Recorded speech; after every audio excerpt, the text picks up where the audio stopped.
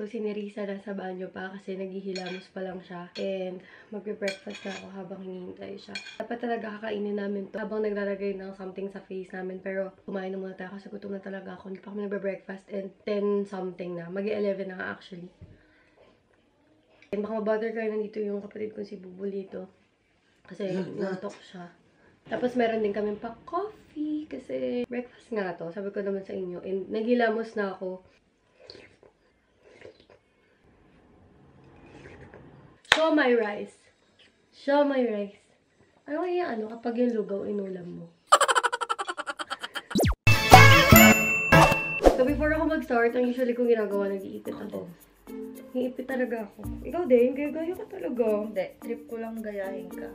ang next kong ginagawa, oy charot, next na ginagawa. ako, naghugas na ako ng kamay. Ako, naghilamos na ako, pero humawak kasi ako ng mga bagay-bagay. So, mag-hand sanitizer tayo. So, ayun guys, ipapakita na lang namin yung mga ginagamit namin. Hindi na namin babanggitin kung bakit namin yung ginagamit. By the way, yung mga pagkikwento namin, yung childhood namin. Backstory! Ano? Throwback to 2 years old ako. Anong taon yun? 2000? 2000? Year 2000? 1998 ka pinanganak. So, mag-add to ka.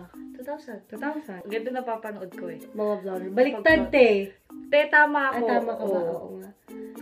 Ayaw mag-focus, te. Huwag na nating ipilit. Hindi, pwede yan.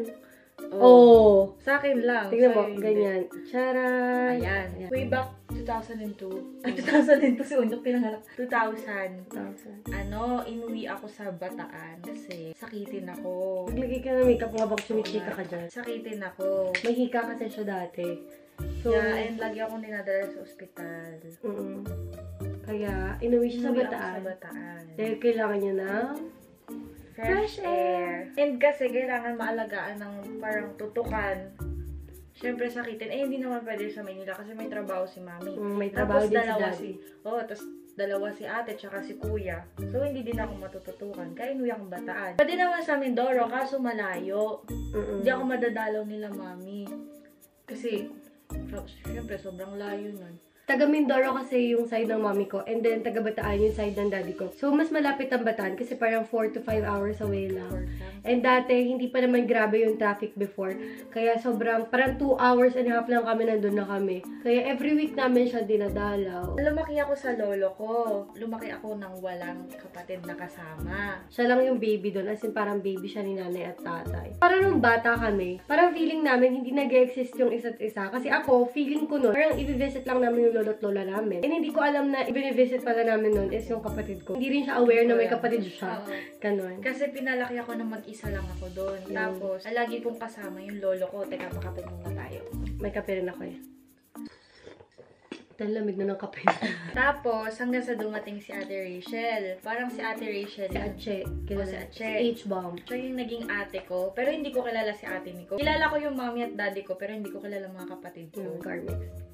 So, tapos, Nagkaiba kami ng mundo. Kilala ko. Mundo? Ano ka sa outer space? Nag 7 years old siya. Iwan na siya ni mommy at daddy kasi nakikita ng okay na siya, umu-okay na siya. Tsaka nagbabago na daw.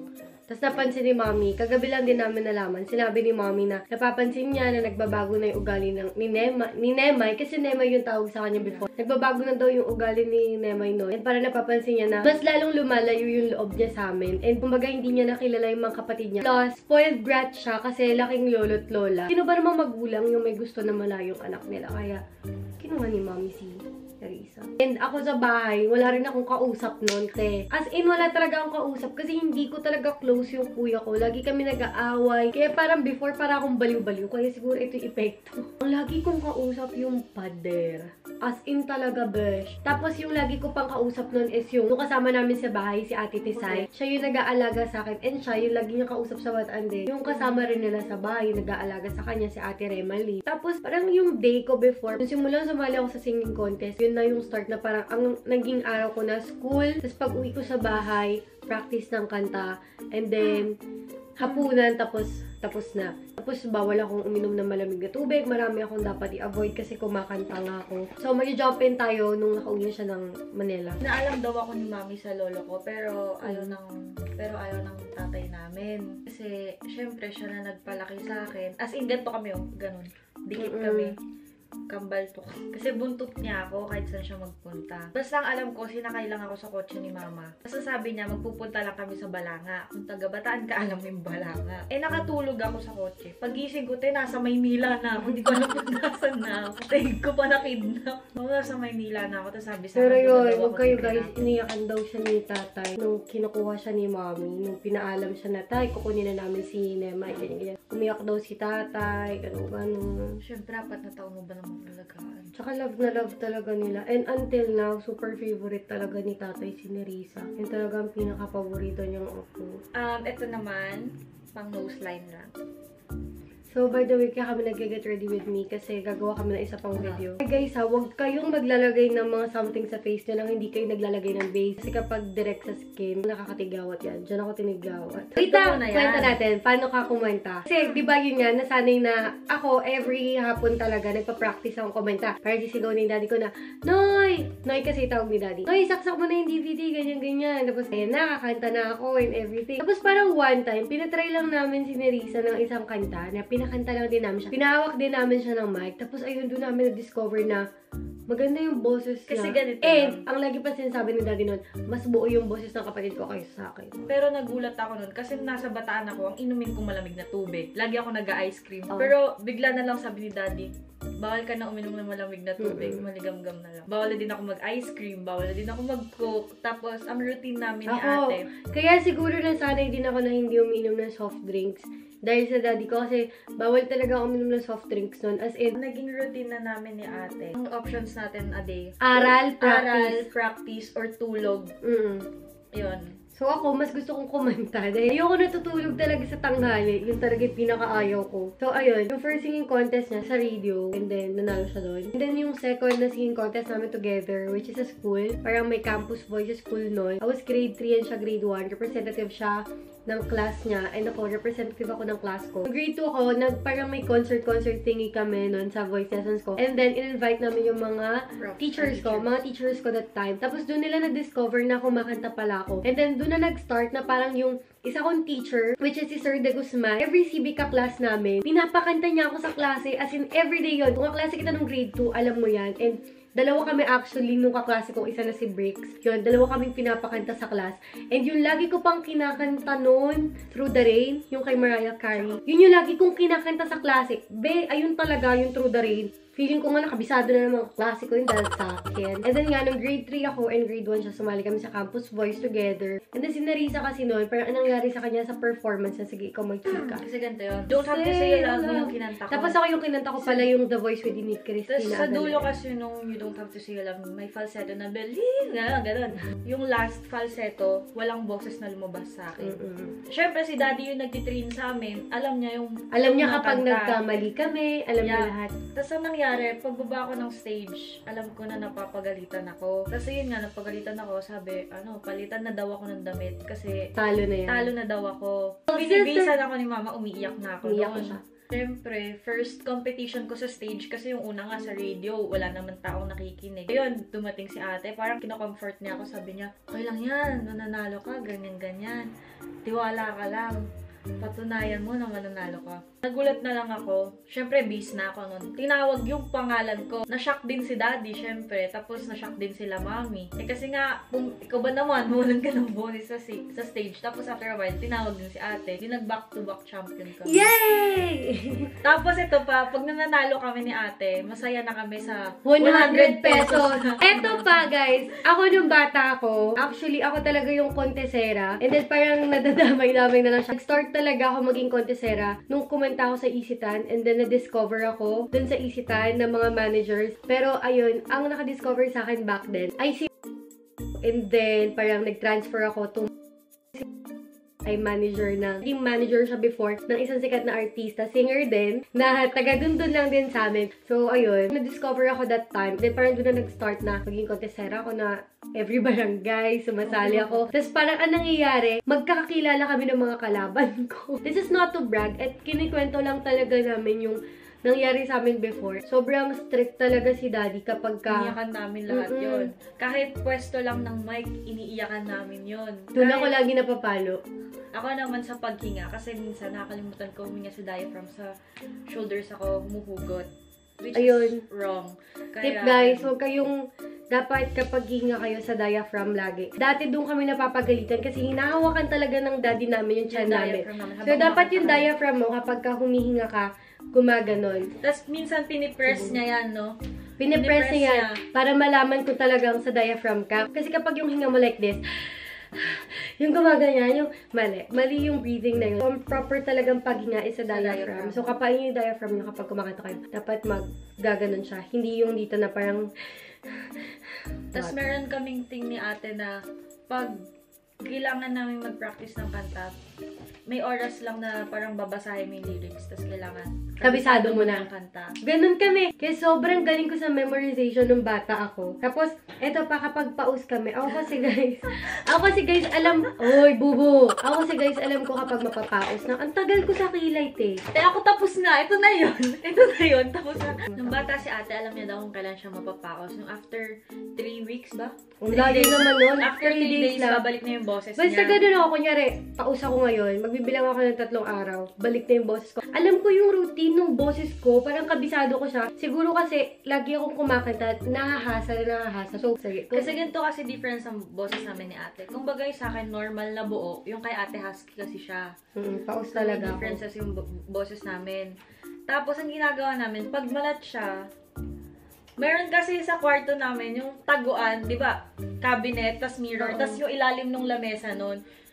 Pag tapos na isa kumanta, magtatago sa loob nun. Di ba? Wala, trip lang namin. Wala naman sinasabi mo kung sinasabi magtago. trip lang namin dalawa. Tapos yan, pag siya kumakanta, doon ako nagtatago. Eh pag malat siya, syempre alam kong papagalitan siya. Ang ginagawa ko, usapan namin, magsasabayan kami. Sasabayan ko siya, yuyuko akong ganun. Tapos sasabayan ko siya. Tapos Eh, ganun din pag malat. Oo. Ganun din pag malat ako. Pag malat ako, sinasabayan niya ako. Pero feeling ko, nahalat, alam naman ni daddy yun ate. Syempre tanga kami nung bata kami, hindi naman namin alam yun. Sa tingin ko, hindi mag-work yun kay daddy. Malay natin, nag-work.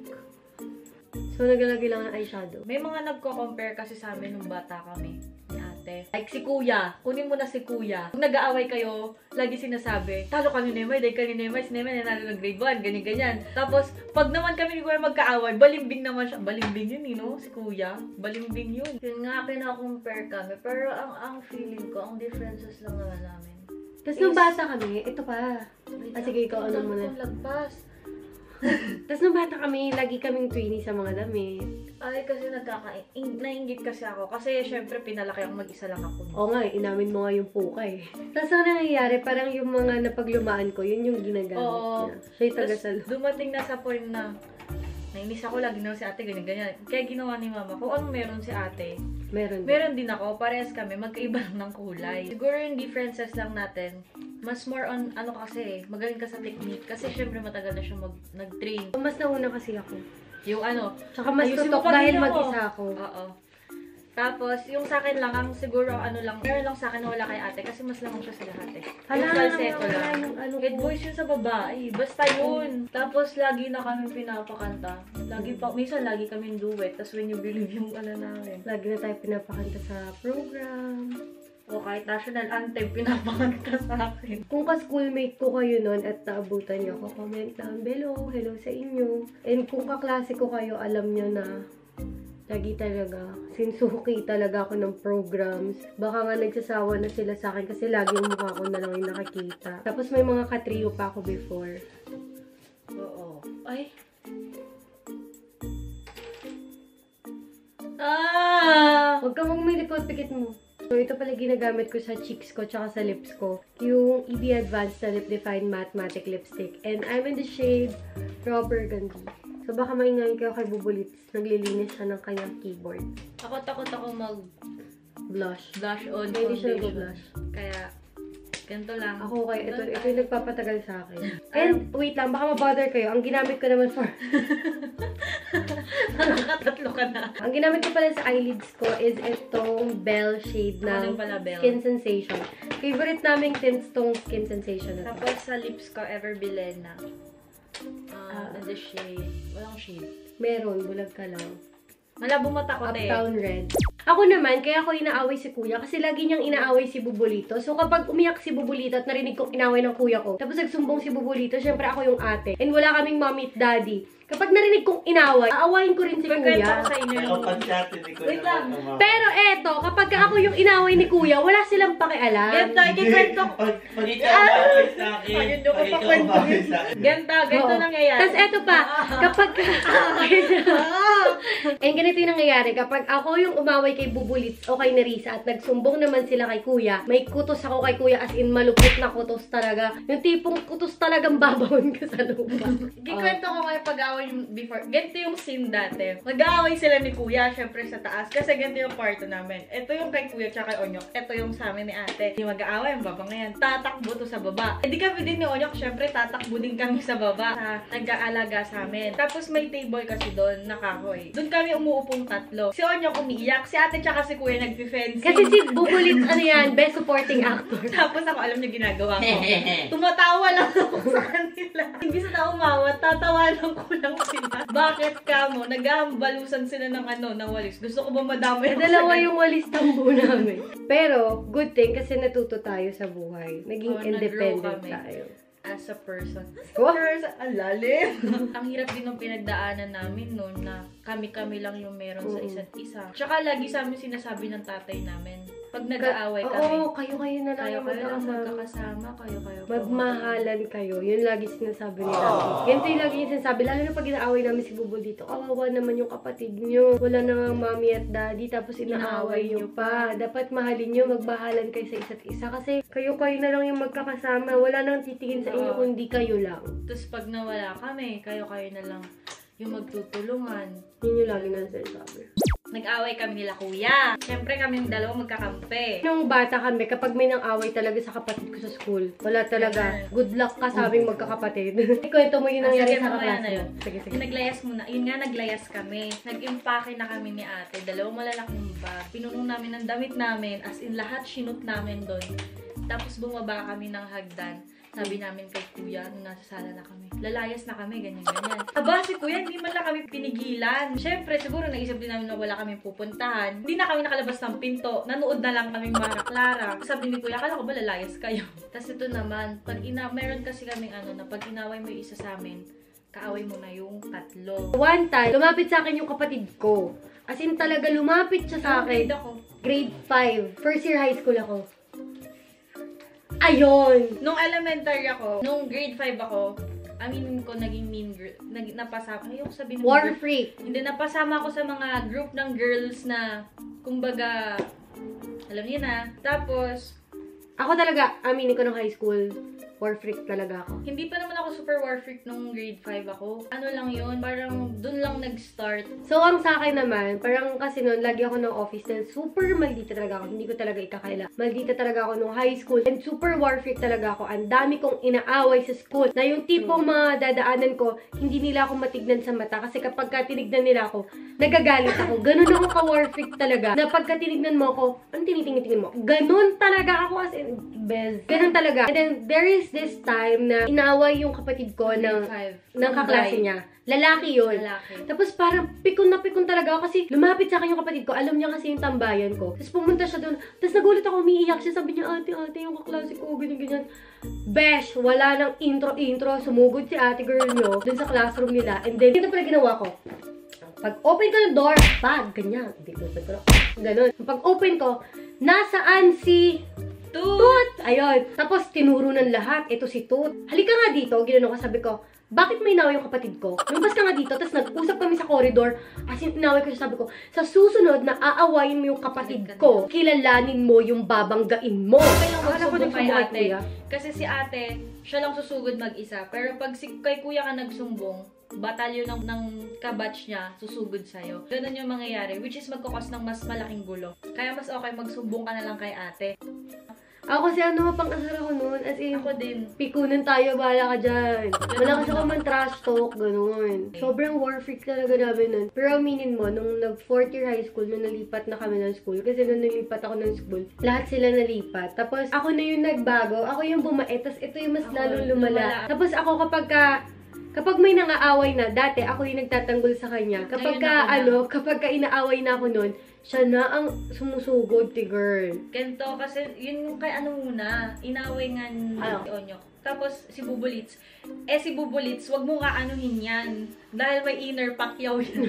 Tahimik, mabait siya, pero wag mo Oo, siyang wag mong pipikunin. Kasi may inner Pacquiao talaga siya. Nananapak talaga yan. Kasi yung unang-una daw, parang nandun siya sa isa niyang school, nung nursery ata or kinder. Tapos, ang siste, sinapak niya yung kaklase niya. Ang katwiran ni Bubulits, nung tinanong, bakit mo sinapak? Kasi nagdadasal po kami, kalabit siya ng kalabit. Napikon siya, pagtalikod niya, gano'n. Yun na, inaway siya, inaway din ni Bubulits. Tapos yung Pero bata lang. nagsum... Sinaksak ni Bubulits si Nerissa ng ballpen sa Not tenga. just once, tad-tad yun dito. Sinaksak siya dito. ito kasi mahilig mag-dear diary. mahilig siya mag-dear diary. Tapos ito si Bubulits, gusto ko hiramin yung ballpen niya. Tapos magsusulat din siya sa dear diary. Eh, si Bubulits hindi marunong magsulat dahil baby, baby pa siya nun eh. Mga 4 and Nursery lang, 5, nursery. mga ganon. Tapos, te girl, sinaksak talaga ni Bubulits yung ate niya sa tenga.